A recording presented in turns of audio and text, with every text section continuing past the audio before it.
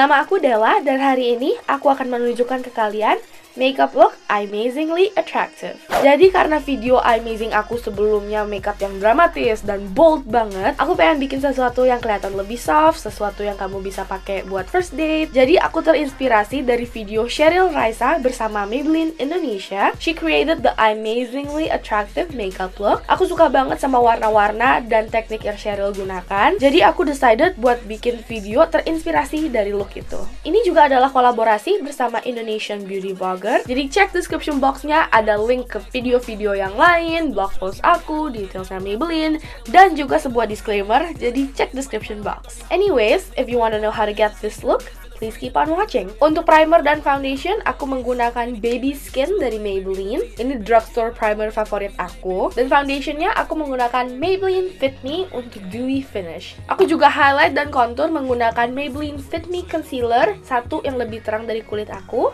dan satu yang lebih gelap. Ini warna light dan cafe. Dan untuk ngeset semuanya, aku pakai Maybelline Fit Me Powder nomor 235. Ini pure beige. Sekarang kita bakal ke alis. Karena alis aku hampir nggak ada, aku butuh sesuatu yang lebih pekat daripada pensil. Makanya aku bakal pakai gel liner warna coklat dari Maybelline. Aku cukup ambil di angle brush kecil, lalu aku bakal menggunakan ini untuk pertama membentuk bentuk alis aku. Aku bakal ngikutin bentuk natural bentuk alis aku, cuman kalau kalian pengen ganti, inget aja, makin lurus, makin kelihatan lebih muda, semakin arch, semakin kelihatan lebih tua. Banyak dari kalian nanya ke aku apa produk alis yang tahan lama. Well, gel eyeliner dari Maybelline ini bisa tahan sampai 36 jam. Jadi ini tahan lama banget. Setelah itu aku bakal ambil sedikit lagi dan mulai isi dari bagian luar ke dalam. Alasan aku mulai dari bagian luar adalah karena semakin ke dalam alis kita mau semakin sedikit produk di brush kita. Karena biasanya bagian awal alis kita udah ada rambut yang tebal jadi nggak perlu isi terlalu banyak. Jangan lupa baurin alis kamu pakai spoolie biar kelihatannya lebih soft dan natural.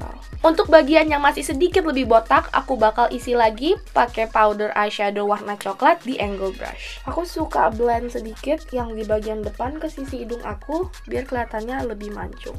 Sekarang aku bakal set brows aku pakai my favorite brow gel dari Maybelline. Ini fashion brow dengan warna dark brown. Untuk siapin bibirnya buat lipstick nanti, aku bakal pakai baby lips untuk hydrate my lips. Sekarang kita bisa ke eyeshadownya. Aku akan menggunakan Maybelline Color Tattoo warna terang dan aku bakal tepuk-tepuk ini di bagian kelopak mata yang bergerak. Ini bakal jadi base untuk eyeshadow kita nanti. Untuk sehari-hari bahkan kamu bisa tepuk-tepuk aja Maybelline Color Tattoo ini dan udah selesai. Pastikan kalau Maybelline Color Tattoo nya terbaurkan kelipatan mata. Untuk eyeshadow, aku akan menggunakan Maybelline Hyper Diamonds Eyeshadow. Ini BR2. Dan pertama, aku akan ambil warna taupe ini di fluffy brush dan baurkan ini di lipatan mata.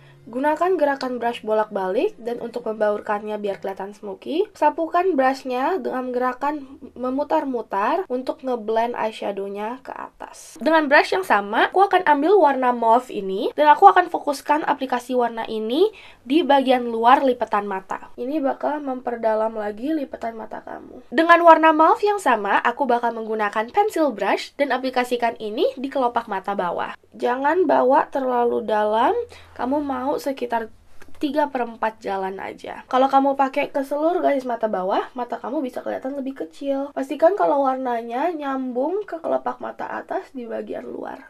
Untuk di kelopak matanya, aku akan menggunakan warna peachy pink ini. Dan ini tepuk-tepuk aja di kelopak mata. Pastikan kalau terbaur baik ke warna yang di lipatan mata tadi. Untuk di inner corner, aku akan pakai warna putihnya. Baurkan ke lipatan mata atas dan bawah. Menggunakan warna terang di, bagian dalam mata akan bikin mata kamu kelihatan lebih cerah. Aku bakal ambil warna peachnya sedikit dan taruh di tear duct. Dengan angle brush, aku akan ambil warna yang paling gelap dan aku akan menggunakan warna ini untuk ngeline mata aku. Aku akan bikin wing kecil di bagian luarnya biar matanya terangkat atau lifted. Kamu mau connect linernya ke sepertiga bawah bulu mata bawah. Kita mau liner ini kelihatan sedikit lebih soft, jadi aku pakai brushnya aja, lalu geser-geser dikit biar warnanya terbaur. Agar mata kelihatan besar, kita akan pakai white eyeliner di waterline bawah. Sekarang kita akan pakai liquid liner. Ini Hyper Glossy Liquid Liner dari Maybelline. Nah, ini kenapa tadi kita ngeline pakai eyeshadow. Ini akan bikin liquid liner kelihatan lebih soft. Liquid liner ini gampang banget buat bikin line yang tipis banget. Bikin line-nya makin keluar, makin tebal. Untuk menambah efek mata yang besar, bulu mata itu penting banget. Aku akan menggunakan Maybelline Big Eyes Mascara di bulu mata atas dan bawah. Maskara ini ada dua ujung. Ujung yang pertama untuk bulu mata bawah dan ujung yang satu lagi untuk bulu mata atas. Kalau kamu ngerasa eyelinernya terlalu tegas, kamu bisa ambil eyeshadow tadi lagi, timpuk di atas liquid linernya. Lihat perbedaannya? Sekarang eye makeup udah selesai, kita bakal lanjut ke mukanya. Untuk blush, aku bakal menggunakan Cheeky Glow Blush. Ini warna Peachy Sweetie. Dan sisanya aku taruh di ujung hidung dan dagu biar kelihatannya kayak rosy glow. Aku akan highlight sedikit menggunakan Maybelline blush warna Golden Fuse. Ini ada warna goldennya, jadi cocok untuk kulit sama matang kayak aku. Untuk lipstick, aku bakal pakai Maybelline Color Sensational Lipstick. Ini Pink Me Up. Aku campur sedikit pakai warna coral. Ini Coral Crush. Aku pakai ini sedikit aja ditepuk-tepuk. Aku juga bakal pakai lip gloss. Ini Color Sensational Lip Gloss Brilliant warna Treat Me Sweet dan makeup looknya selesai.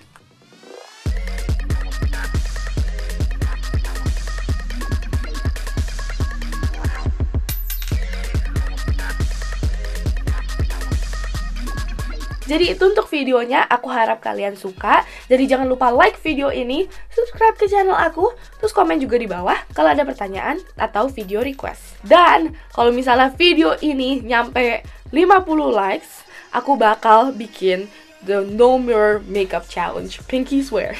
Untuk daftar produk-produk yang digunakan, extra photos, tips, dan reviews, silakan ke blog aku, delaniamarvella.com, linknya di description box. Kalau kalian recreate look ini atau kalian recreate any of my other looks atau simply kalian pengen stay connected, jangan lupa cek aku di Facebook, Twitter, Instagram, SFM, dan Snapchat. Semuanya Delanya Marvella, linknya di description box. Jadi makasih banget udah nonton dan sampai jumpa.